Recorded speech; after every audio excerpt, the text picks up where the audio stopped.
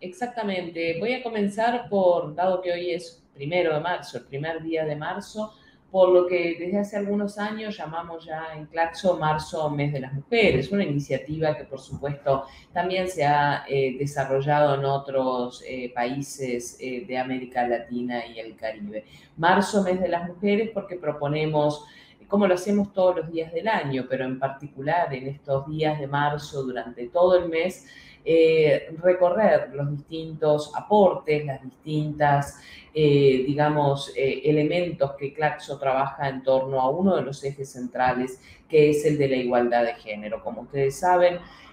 Claxo está comprometido con la igualdad de género y Claxo considera al género uno de los ejes principales de su trabajo en todos los programas y acciones que desarrolla en materia de investigación, de formación, de eh, difusión, de, por supuesto, la producción editorial, de los conversatorios y de todas, todas las acciones eh, que realizamos. Entonces, ya hace algunos años llamamos a marzo mes de las mujeres y bueno, hoy estamos también comenzando esa campaña del mes de marzo para hacer aún más visible durante este mes de marzo el aporte que las mujeres realizan en el campo de las ciencias sociales y las humanidades y para también eh, hacer visibles los avances, pero también los caminos pendientes que quedan en materia de igualdad de género en la región latinoamericana y caribeña. Y por eso te propongo, además de comenzar esta campaña de Claxo de marzo, mes de las mujeres, eh, destinar las columnas eh, en las que participo aquí en Infoclaxo durante marzo a distintas eh, dimensiones o distintas este, problemáticas para las mujeres en materia de igualdad en América Latina y el Caribe. En ese sentido, me parece, bueno, hoy vamos a comentar otros temas, pero me gustaría por lo menos enunciar una primera dimensión en términos de igualdad de género, en términos de igualdad eh, de los varones y las mujeres, que es la que refiere a la autonomía política de las mujeres. Hemos conversado en otros espacios aquí en Infoclaxo acerca eh, de las distintas dimensiones de la igualdad de género y las distintas dimensiones también de la autonomía, entendiendo la autonomía como un concepto realmente importante en materia de género. Una de esas dimensiones es la autonomía en la toma de decisiones y refiere a la participación a nivel político, a nivel social, a nivel de los distintos espacios, en definitiva, eh, de las sociedades latinoamericanas y caribeñas de varones y de mujeres. Cuando miramos qué es lo que está ocurriendo específicamente en esta dimensión de la autonomía en la toma de decisiones o la autonomía política, como dicen algunas personas, eh, de las mujeres, bueno, allí también nuevamente encontramos luces y sombras. Eh, algunos indicadores sobre la presencia de las mujeres en los distintos niveles, por ejemplo, del poder estatal, de los distintos niveles de los poderes del Estado, nos permiten ver eh, o aproximarnos a la participación desigual en función del género entre varones y mujeres y cómo por tanto, vulneramos allí la autonomía de las mujeres en la toma de decisiones. Los datos, más recientes que han salido, tanto por parte de organismos de Naciones Unidas, ONU Mujeres, CEPAL, OIT, etcétera, como de otras organizaciones, muestran con mucha claridad que la representación de las mujeres es insuficiente en todos los niveles de toma de decisiones. Y por supuesto, eso es así en nuestra región latinoamericana y caribeña, pero también es una constante en el resto del mundo. Si miramos, por ejemplo, el informe de ONU Mujeres, solamente en todo el mundo hoy hay 28 países que tienen como máxima autoridad, como jefa de Estado o de gobierno a una mujer. Y 119 países donde nunca ha existido una mujer ocupando ese máximo cargo de representación y de autoridad eh, política y gubernamental. Eh, apenas en 14 países de todo el mundo, además, si miramos el poder ejecutivo, los gabinetes han alcanzado la paridad, el 50% o más en la representación eh, de las mujeres. Recordemos, lo saben quienes nos están escuchando, pero que promedialmente a nivel demográfico, a nivel poblacional, las mujeres somos algo más del 50%, es más, casi el 52% de la población. Si miramos ahora América Latina y el Caribe, de acuerdo a los datos del Observatorio de Igualdad de Género, el que usamos muchas veces y mencionamos muchas veces aquí en este espacio, Observatorio de Igualdad de Género de la CEPAL, las mujeres ocupan solo el 28% de las carteras ministeriales en los poderes ejecutivos de nuestra región. Capaz que es conveniente destacar algunos casos puntuales, como el de Costa Rica, que justamente desde el 2018 posee un gabinete paritario compuesto en un 50% por mujeres, o el caso más reciente de Chile, con un gabinete donde 14 de los 24 cargos son ocupados, estoy hablando de cargos ministeriales, ¿verdad? Son ocupados por mujeres, es decir, más del 50%, casi el 60, 58% para ser más exacta.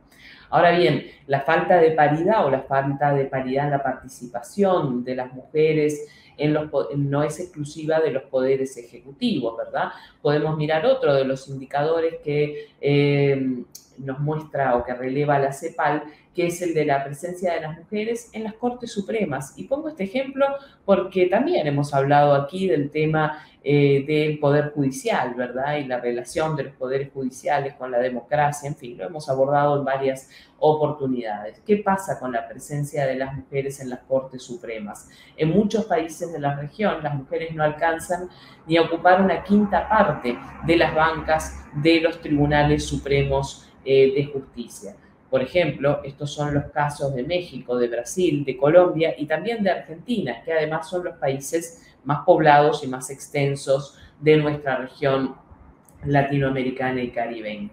También aquí cabe destacar, en el sentido contrario, el avance de las mujeres en muchos eh, de los máximos tribunales de la región del Caribe, ¿sí? países como Cuba, como Jamaica, como Guyana, Em, o el Tribunal Supremo del Caribe Oriental, ¿verdad? Que es eh, una autoridad judicial de nueve de las islas caribeñas. Eh, allí la presencia eh, de las mujeres supera el 60%. Por ciento, perdón. Ahora bien, esto a nivel del Poder Ejecutivo, a nivel del Poder Judicial, ¿qué pasa en el Poder Legislativo? Que quizás es el que se mira con más frecuencia, porque puede ser el más eh, visible por las funciones que cumplen los poderes legislativos, las distintas cámaras en cada uno de nuestros países. Eh, allí es un área donde vemos avances, efectivamente, quizás incluso donde más se ha avanzado, no nos olvidemos que por medio de la ley de cuota en la mayoría de los países latinoamericanos y, caribeños, eh, ley de cuota que por supuesto refiere a los cargos electivos, ¿verdad? Los momentos de elecciones y cómo se elaboran las listas para esos cargos electivos. Si bien es cierto que estos puestos siguen siendo todavía ocupados en su mayoría por varones, la región eh, sigue manteniéndose a la cabeza del camino a la paridad en los parlamentos nacionales a nivel mundial, es decir, desde las regiones que más ha avanzado en términos de alcanzar la paridad, no es que se haya alcanzado todavía a nivel eh, del mundo. Y eh, para dar un dato más preciso, a finales de 2022, eh, este número, este promedio, estaba en el entorno del 35% en los parlamentos o en los legislativos nacionales en nuestra región. Los países con legislativos más paritarios son Cuba, eh, México, Bolivia, Costa Rica y Argentina. Eh, allí, eh, si miramos el otro extremo, ¿verdad? O los casos que se ubican en, el otro extremo, bueno, encontramos a Brasil, a Paraguay y Colombia, donde las mujeres tienen realmente poca participación en las bancas eh, parlamentarias. En definitiva, ¿por qué traigo hoy estos datos? Como para ir situando en una de las dimensiones de la autonomía, iremos recorriendo otras a lo largo del mes de marzo, em,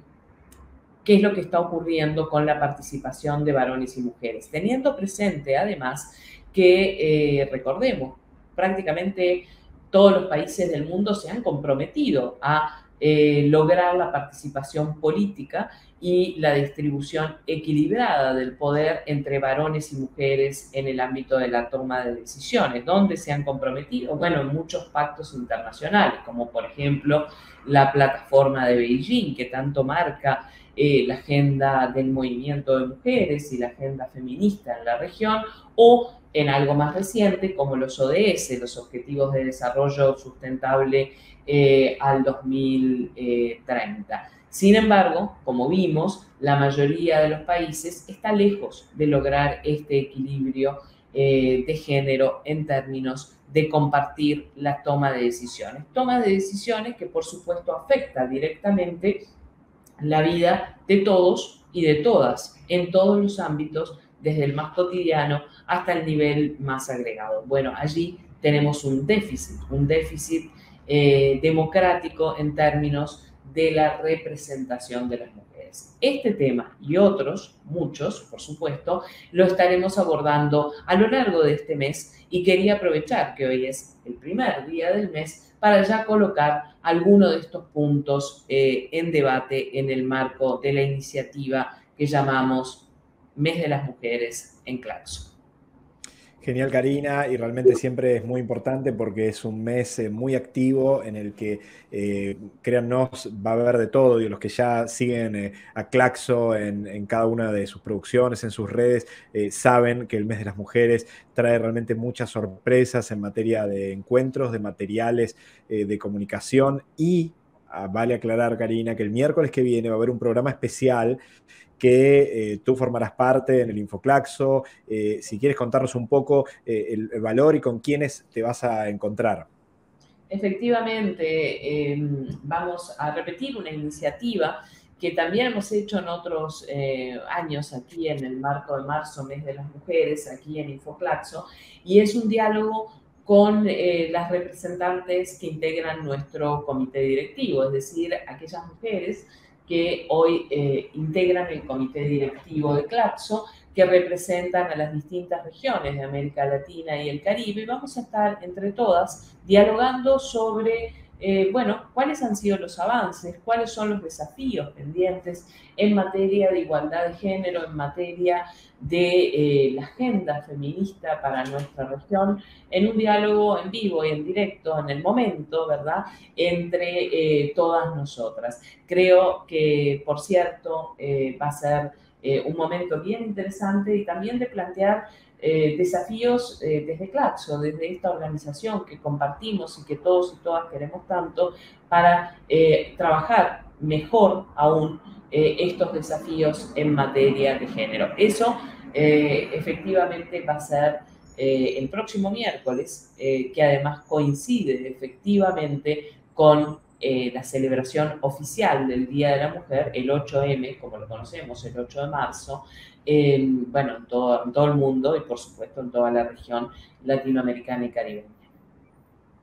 Eh, ahí, Karina, entonces estaremos siguiendo, obviamente, vamos a anunciarlo después con, también eh, por el resto de las redes para que todo el mundo se pueda enterar de lo que implica el encuentro del próximo miércoles con algunas características en el medio, porque va a haber otros materiales, estén atentos, diálogos con Karina Batiani que se vienen realizando hace tiempo y que realmente son muy potentes y que van a ser encuentros, charlas, diálogos que se van a dar, también otros materiales más que van a estar dando vuelta, como por ejemplo materiales de publicidad publicaciones que van a estar dando vuelta, los grupos de trabajo. Eh, realmente hay muchas cosas, así que se van a ir enterando a medida que vaya avanzando el mes, pero siempre es importante, Karina, que estrenes aquí, que nos comentes y que nos sitúes un poco por dónde viene este marzo, mes de las mujeres. Pero marzo eh, va, también, va a tener también eh, otro tema eh, realmente muy central para nuestra América y para América del Sur en particular, que ha vivido procesos dictatoriales muy brutales. Y este año, decíamos, se cumplen 40 años de la recuperación de la democracia en la Argentina, 50 años del comienzo de la dictadura en Uruguay y 50 años del comienzo de la dictadura en eh, Chile, 24 de marzo, 27 de junio, 11 de septiembre. Eh, y eso es 40, 50, 50. ¿De qué se trata y un poco cuáles son las iniciativas también para este mes de marzo? Efectivamente, Gustavo, marzo eh, nos estará marcando por ser marzo mes de las mujeres que también eh, es bueno recordar a quienes nos escuchan que todo este trabajo que estaremos realizando se enmarca dentro de nuestras plataformas para el diálogo social, donde justamente la cuestión de género es uno de los ejes eh, sustantivos de esas plataformas, pero también lo es el eje de la democracia, los derechos humanos, la memoria. Y este año tiene esa particularidad, lo que hemos llamado en Claxo, lo que empezamos a llamar a partir de hoy 40, 50, 50. ¿Por qué? Porque 2023 es un año eh, marcado justamente por los 50 años de los golpes, eh, eh, de los golpes de Estado, ¿verdad? Los golpes cívico-militares en Uruguay y en Chile. Junio en Uruguay, septiembre en Chile del año 73. Pero a su vez por los 40 años del retorno a la democracia aquí en la Argentina, que se conmemora en este mes de marzo de 2023. Acontecimientos todos estos que eh, son sin duda de nuestra historia contemporánea, de toda América Latina, en particular del Cono Sur, y que son desafíos absolutamente presentes eh, en la búsqueda actual de cómo seguir fortaleciendo el camino democrático de nuestras eh, sociedades, democracia que como hemos visto en otros programas también se ha visto amenazada, también se ha visto sometida a procesos de inestabilidad política en la región, recordemos Brasil, lo hablamos hace relativamente poco, veamos lo que está pasando en el Perú, que sigue ocurriendo, eh, y bueno, y que nos marcan eh, ese camino que hemos denominado 40, 50, 50, que comienza aquí en marzo con lo que es esa semana eh,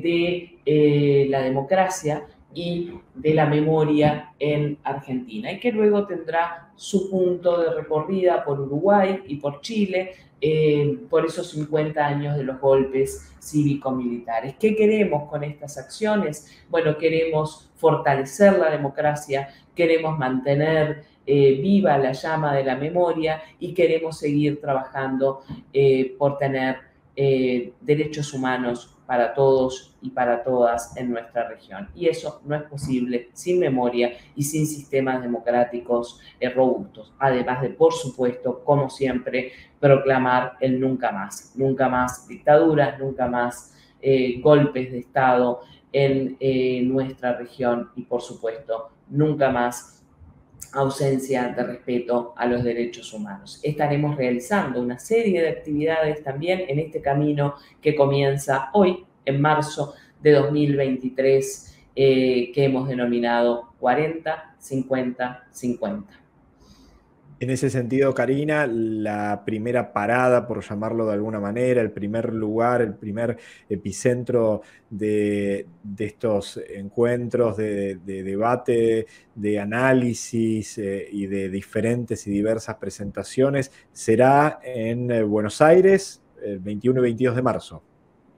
efectivamente vamos a estar comenzando ese recorrido o ese proceso de trabajo y de análisis de los desafíos actuales y de la construcción de alternativas eh, para América Latina y el Caribe acá en Buenos Aires. Eh, a 40 años de la recuperación democrática de la Argentina, promoviendo estos diálogos sociales eh, el 21 y 22 de marzo eh, en eh, el Centro Cultural de la Cooperación, un centro miembro de Claxo con quien organizamos conjuntamente eh, este capítulo de las plataformas para el diálogo social en torno a las memorias, derechos humanos y democracias 40, 50, 50, para luego continuar el trabajo, por supuesto, en el día a día, pero en el, en el recorrido eh, un segundo capítulo de encuentro en junio en Uruguay y un tercero en septiembre